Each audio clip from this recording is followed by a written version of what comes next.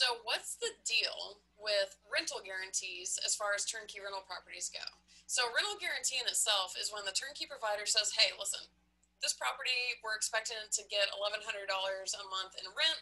The current tenants are paying that. However, if something happens during the span of this rental guarantee, we're going to still pay you the rental amount. So if the tenant stops paying or they get evicted or there's a vacancy or a turnover or whatever, you're still going to be making that $1,100 a month. They're paying it to you, which, hello, is awesome. It's exactly what the name says it's a rental guarantee. So I'm going to, before I tell you about rental guarantees today, I'm going to kind of hop back in time to when these things were huge marketing deal. So in 2011, 2012, when I started buying turnkey rental properties, keep in mind this was in the middle of the crash. Prices are so low. Investors are flocking onto turnkey rental properties all properties but even turnkey rental properties like crazy. There were also a million turnkey providers. Like everyone and their mothers had decided to start a turnkey company so, because of the competition and how fast people were buying, a lot of the companies, and I'd even say maybe the majority of them, started offering rental guarantees because it's like, hey, what's going to make the investor buy from us? And we want to guarantee our work so you can feel confident investing in our properties because you're going to make that rent for i think back then it was typically like a 12 month rental guarantee maybe six months depending on whatever cool totally legit idea. It works. I mean, it's it, the premise of it and the idea of it is fantastic.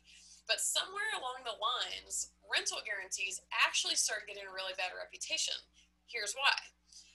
What a lot of people had done, the providers, they I don't want to say they fluffed their numbers, but they kind of fluffed their numbers, meaning they, in this specific case, overestimated the rent amount that this pro- particular property could bring in.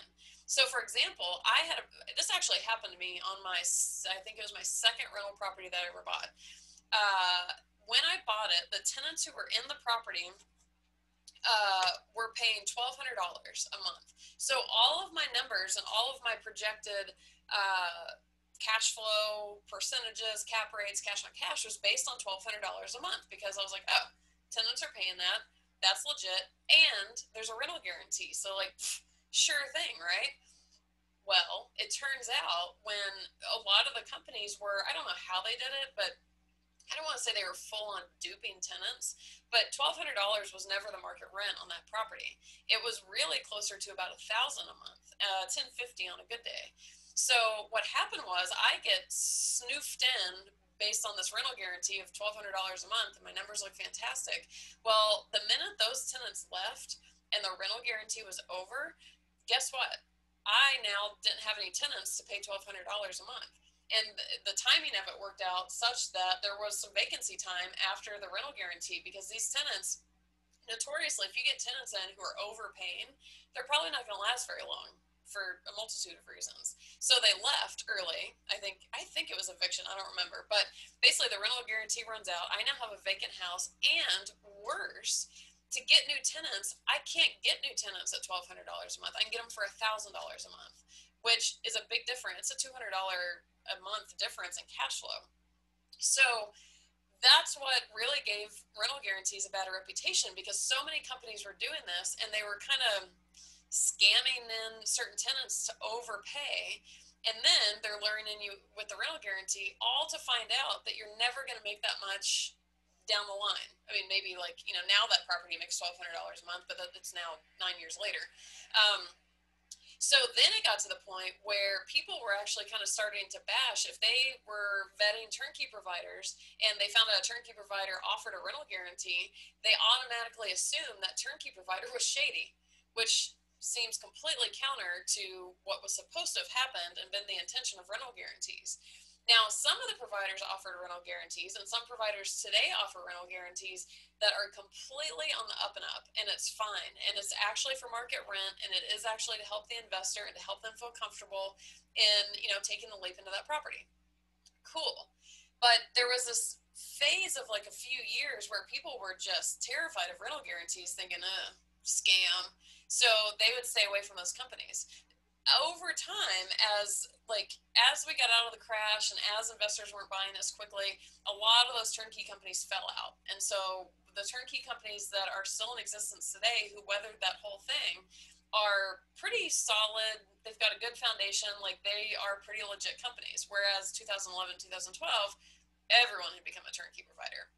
So today in turnkey world, I've heard of maybe a couple that offer rental guarantees, one of which specifically offers it because they sell their properties without tenants in it. Like you buy the vacant property, which that alone I'm kind of opposed to for numerous reasons, but that makes sense because it's like, well, why you're supposed to be buying a cash flowing turnkey property, which means you need to be making income from day one. And if there aren't tenants in it, then how are you going to do that? So they offer this rental guarantee saying, hey, we'll pay you the rental amount for three months until, you know, we'll get a tenant somewhere in that span, but at least for three months you're covered so you can pay your mortgage and all that kind of stuff.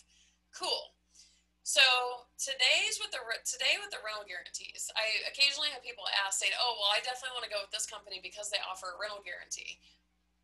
Maybe awesome if it, if they're doing it completely on the up and up and the market rents are as suggested, fantastic. But the key for you as a turnkey buyer is to make sure use a link uh, like RentFax Pro. I can put a link in the comments or. Um, I'm blanking on one of the other names.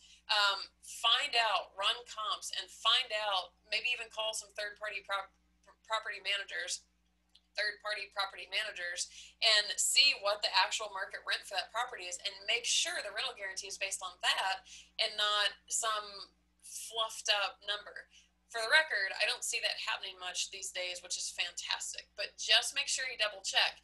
And so, if you were around in the earlier days and you got a really sour taste in your mouth about rental guarantees, the flip side to that is don't rule out a company just because they offer it, because it might be a really fantastic offering.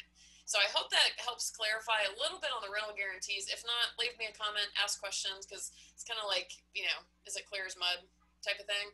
But yeah, so rental guarantees, awesome, but make sure it's based on the actual uh, realistic numbers that you can get on that property.